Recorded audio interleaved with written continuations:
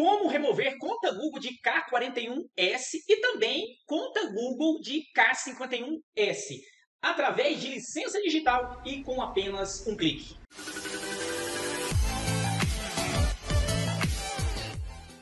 Opa, Christian Alves aqui, eu sou o seu distribuidor oficial no Brasil dos programas SamPro e um Lock Tool. E agora, você pode adquirir comigo também os técnicos aí de plantão Borneo Schematics e ZXW. É só me chamar aqui na descrição desse vídeo que eu vou ativar com o maior prazer e rapidinho a sua licença digital.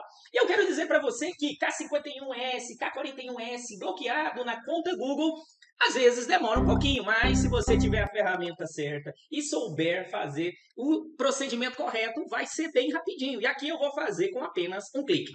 Mas antes de ir para o vídeo, eu quero dizer que semanalmente eu trago novos conteúdos atualizados, práticos e direto ao ponto para você.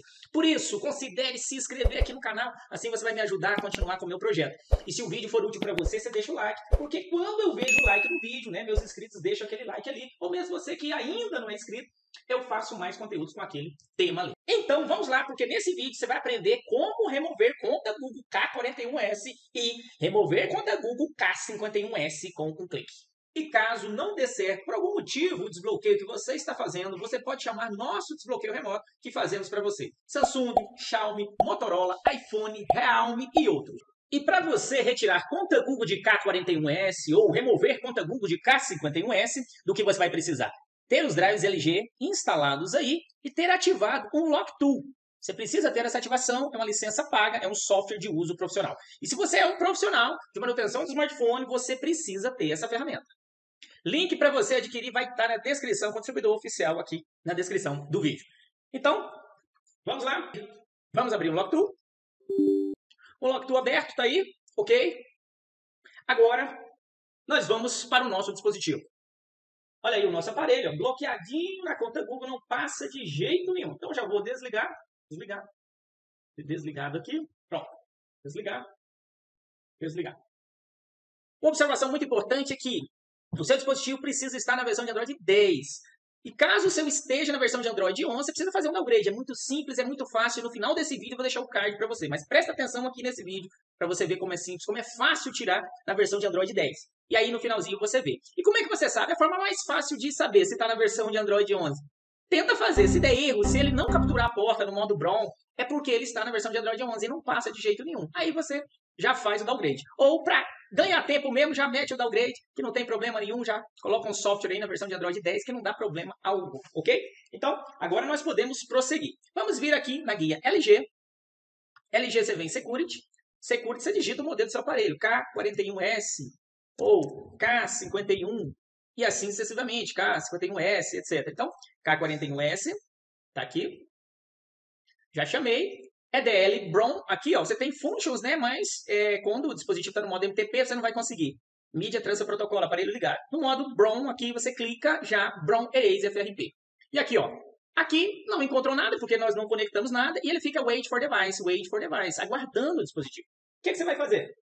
Observe aqui no seu aparelho, você tem botão liga desliga, volume para cima, aqui, volume para baixo, aqui, e o assistente. O assistente fica aqui. Então, o que, que eu vou fazer? Para mim poder segurar, porque eu vou já desconectar o cabo do PC, eu vou conectar aqui, ó, já no aparelho, para mim fazer sozinho.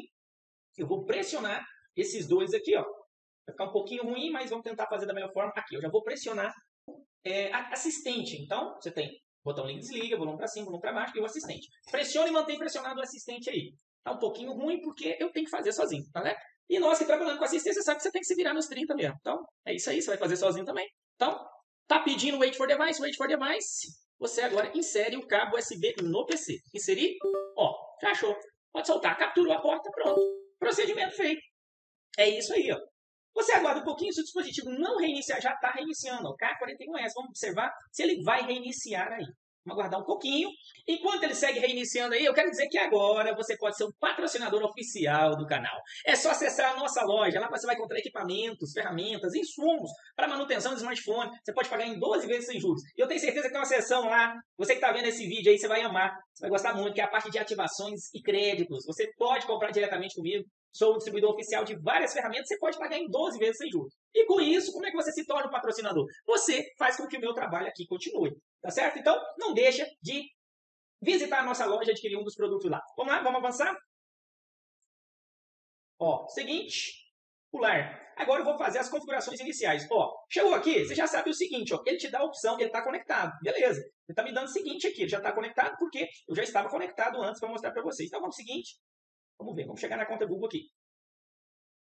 Não esquece de deixar aquele comentário. E aí, você já usa a ferramenta Lockpool? Você já tinha feito assim? Teve algum problema? Qual modelo você conseguiu fazer? Deixa aqui embaixo seu comentário. A sua participação é extremamente essencial para o canal. É é através da sua participação que eu produzo mais conteúdo e vai ajudando aí quem está chegando. Mas pensa, pode ser você que pode chegar depois. Então, ajuda. Ajuda porque quem ajuda é ajudar. Ó, não copiar. Espera lá, fica comigo aí.